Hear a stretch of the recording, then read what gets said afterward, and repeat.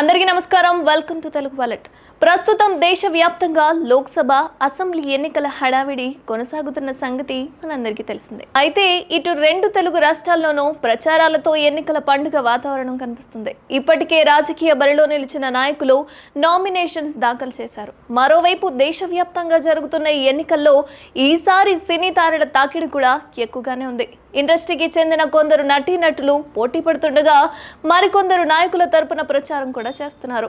ఇప్పుడు ఎన్నికల బరిలోకి మరో టాలీవుడ్ నటి దిగుతోంది. సూపర్ హిట్ సిరీస్ పొలిమేర చిత్రాలతో తెలుగు సినీ పరిశ్రమలో గుర్తింపు తెచ్చుకుంది సాహితీ దాసరి. ఇప్పుడు ఆమె ఎన్నికల్లో పోటీ చేసేందుకు రెడీ అయ్యారు. ఈ మేరకు నామినేషన్ పత్రాలను దాఖలు చేశారు. సాహితీ పొలిమేర వన్ పొలిమేర టూ సినిమాల్లో నటించి తెలుగు ప్రేక్షకులు కూడా చాలా దగ్గరైంది. అయితే పొలిమేర సినిమాలో కెటప్సీను భార్య రాములు పాత్రలో కనిపించింది ఈ ముద్దుగుమ ఇక పొలిమేర టూ సినిమాలో సత్యం రాజ్ ను ప్రేమించిన అమ్మాయిగా కనిపించింది. తనదైన నటనతో ప్రేక్షకులను ఆకట్టుకుంది. సినిమాలో పలు కీలక పాత్రలు పోషిస్తూ నటిగా గుర్తింపు తెచ్చుకున్న సాహితి ఇప్పుడు రంగారెడ్డి జిల్లా చేవెళ్ళ పార్లమెంటు నియోజకవర్గ స్థానానికి స్వతంత్ర అభ్యర్థిగా పోటీ చేస్తున్నట్లు ప్రకటించింది.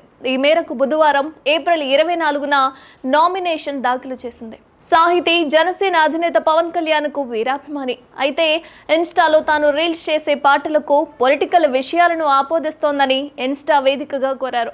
చేవెళ్ళలో బీఆర్ఎస్ నుంచి కాసాని జ్ఞానేశ్వర్ పోటీ చేస్తున్నారు. అలాగే బీజేపీ నుంచి కొండా విశ్వేశ్వర్ రెడ్డి కాంగ్రెస్ నుంచి రంజిత్ రెడ్డి పోటీలో ఉన్నారు. ఇక నామినేషన్స్ ప్రక్రియ ఈ రోజుతో ముగిసింది. ఈ క్రమంలోనే రిటర్నింగ్ అధికారి జిల్లా కలెక్టర్ శశాంక్కు సాహితీ నామినేషన్ సమర్పించింది. ఇందుకు సంబంధించిన ఫొటోస్ కూడా ప్రస్తుతం నెట్టింట వైరల్గా మారాయి. మరిన్ని అప్డేట్స్ కోసం చూస్తూనే ఉండండి తెలుగు వాలెట్